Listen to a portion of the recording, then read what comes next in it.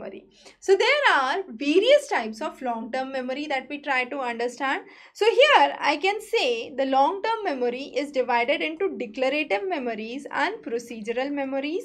Later on you have Tulving who further classified this declarative memory as episodic memory and semantic memory. So this is the flowchart we could say for the long-term memory and its type.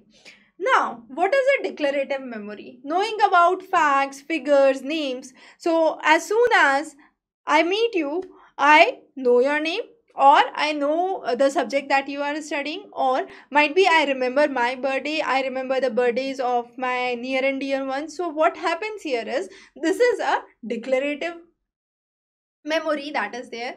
We know our country's independence. We know uh, some of the major national uh, symbols across the nation. So those are some of the ideas which is declarative.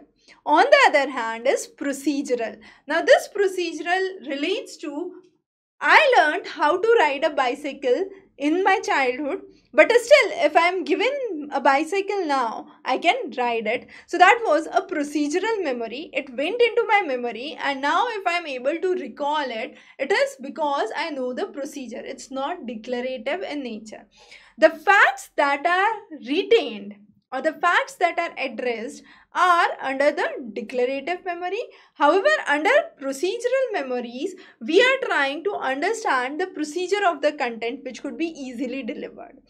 The next is the under the declarative memory, as Tulving suggested, you have either episodic memories or semantic memories. Episodic memories are biographies of certain life experiences that are there.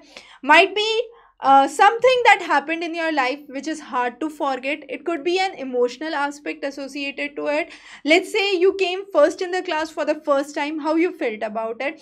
So that is a kind of emotional values being attached to something and it is episodic it might happen on a continuous or a regular interval or it would could happen for a single time. But this is definitely episodic. There were episodes that were there and you remember only those episodes. The next is semantic. Semantic says a memory about general awareness or knowledge and that's what you remember at a deeper level.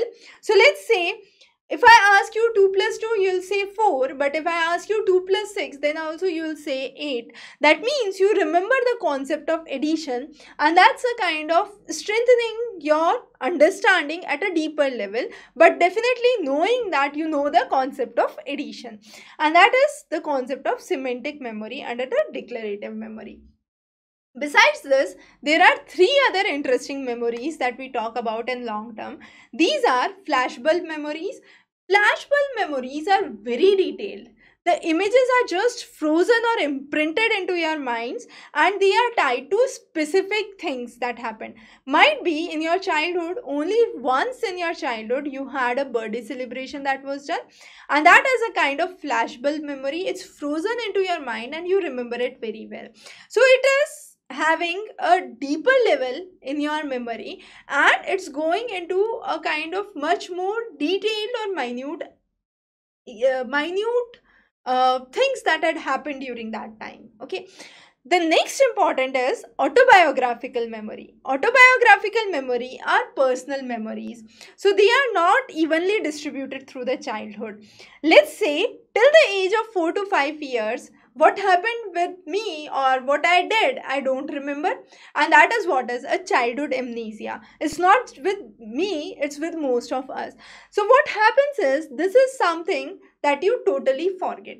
So, you have a teen period or a kind of youth period where you remember most of it, and then with your old age, only the recent happenings is what you remember. So, there is where we have the autobiographical memory. It is based on the personal memories. The next is implicit memory.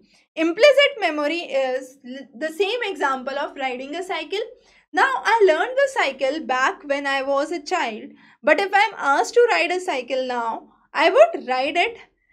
I don't know how, but it is implicit into my memory. That means I learned it and I'm not consciously putting effort, okay, I'll catch the handles i'll move the pedals but it's automatically coming in. So this is what is a implicit memory. It is a kind of uh, uh, awareness that comes into a person's mind even when he is not willingly trying to put an effort to do it. As simple as that. So these long term memories in the forms of concepts in the forms of categories or schemas or mental images are organized might be in a hierarchical fashion so that we can better remember and understand and comprehend the concept